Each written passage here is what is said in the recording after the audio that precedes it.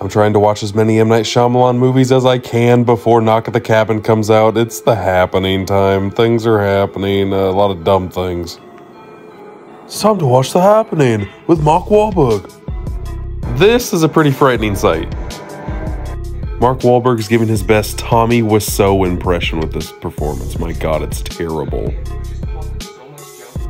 Speaking of terrible, this is like the most green screen looking thing I've ever seen. Okay. who who cares this much about hot dogs? Nobody. He might like hot dogs that much, I guess. Watch out for the spooky wind. Mark Wahlberg talks to Tweez. Has a great conversation. We've sensed it. We've seen the signs. Now it's happening. You know what just happened? A fucking snore fest from M. Night.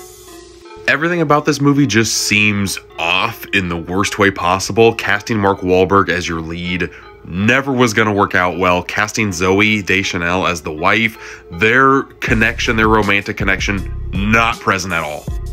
The premise is cool. The death scenes are okay. That one where they're falling off the buildings, that's very cool. The rest of the movie absolutely sucks. This movie's so bad it feels like a spoof. I'm giving it a one and a half out of five. And now here are my rankings so far from my M. Night Shyamalan Watchathon. Up next is The Visit, and I've heard very good things, but I've never seen it, so I'm hoping for good things. Fingers crossed it can't be worse than that shit.